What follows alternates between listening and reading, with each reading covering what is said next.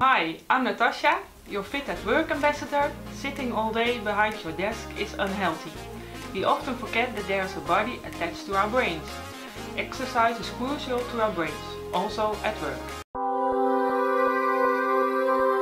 This exercise is the leg press. Sit straight up in your chair. Take a firm grip. Put the Dynaband under your foot. Start with bended knee and put your elbows close to your body. And then stretch your leg.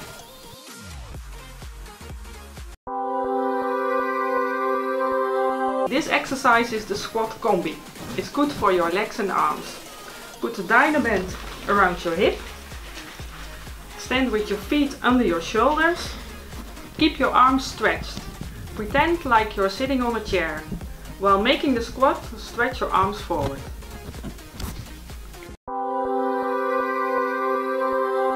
This exercise is the push-up. It's good for your upper arm. Stand one step backwards from the ball, make push-ups.